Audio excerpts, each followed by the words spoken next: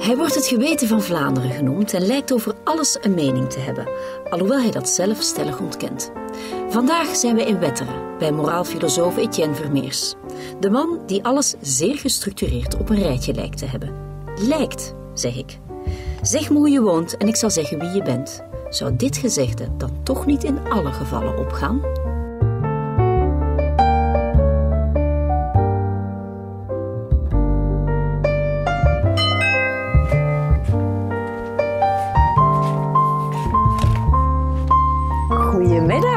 Welkom.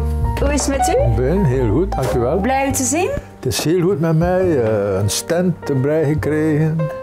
Dus alles perfect. Alles oké? Alles perfect. Oh, dat Alles is goed. U moet niet te veel letten, er is een beetje rommel hier. We hebben een eh, vochtigheidsprobleem. We moeten bepaalde zaken verhuizen. En, eh, Dus u bent volop in een verhuis ja, ja, bezig? ja, een interne verhuis. Ja, ja. Ja. Oké. Ik zal u de, de weg Ja. tonen. Ja.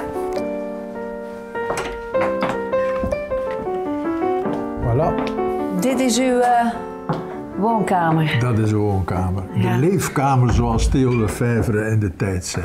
Terug helemaal de oude?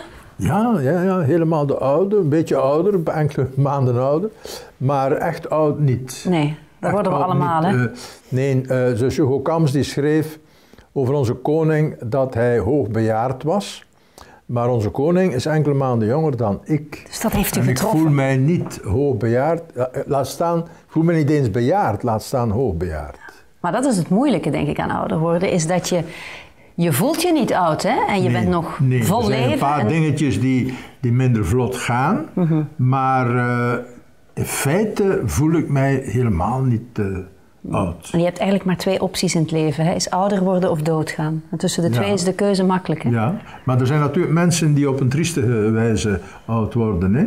Neem nu bijvoorbeeld Brigitte Bardot, die dus ook van mijn jaar is, van 1934.